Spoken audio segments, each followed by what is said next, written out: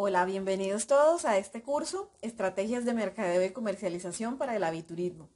En este curso eh, vamos a trabajar diferentes temáticas muy interesantes acerca del aviturismo.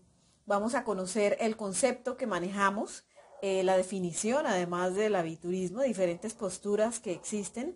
Vamos a conocer todas las actividades asociadas a esta actividad que conocemos eh, en español como aviturismo o beer watching en inglés.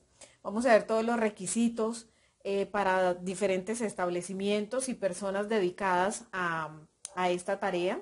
Eh, vamos a conocer la demanda del aviturismo, los segmentos de mercado, algunos especializados.